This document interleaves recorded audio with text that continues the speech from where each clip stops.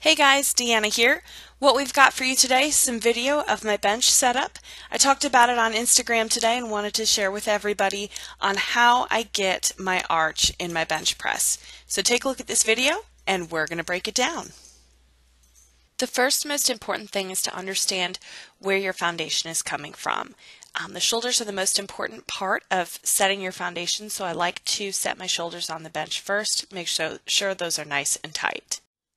Stemming from your shoulders, you're going to make sure your neck is also planted and very tight. You don't want to be able to nod your head yes or shake your head no when you're planted on your neck.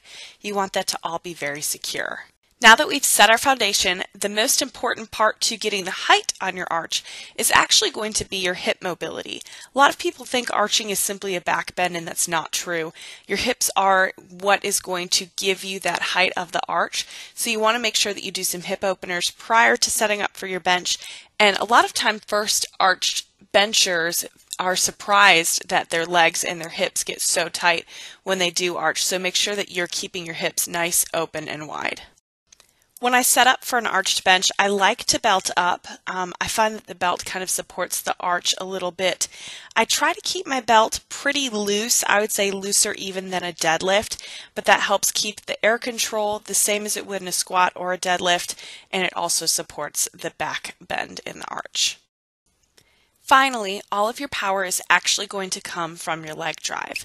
I bench with my heels down, so that's where I'm pushing off the ground.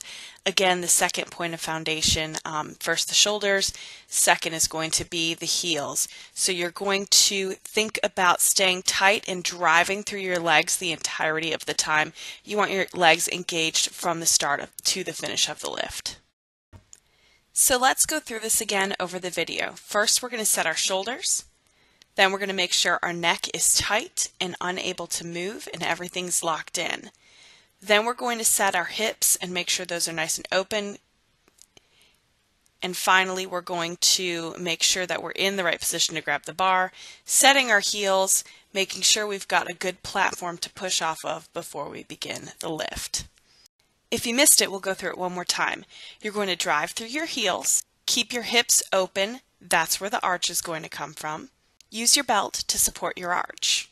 Your neck is going to be tight to your shoulders, and your shoulders are going to be planted firmly on the bench as your foundation. All right, guys, hope that was helpful. Um, if you have any questions about why I arch, why arching is not bad for my shoulder, why I'm not going to break my back, if you want to troll me, whatever you want to do, feel free to comment below or hit me on Instagram, Diesel Lifts. Thanks, guys.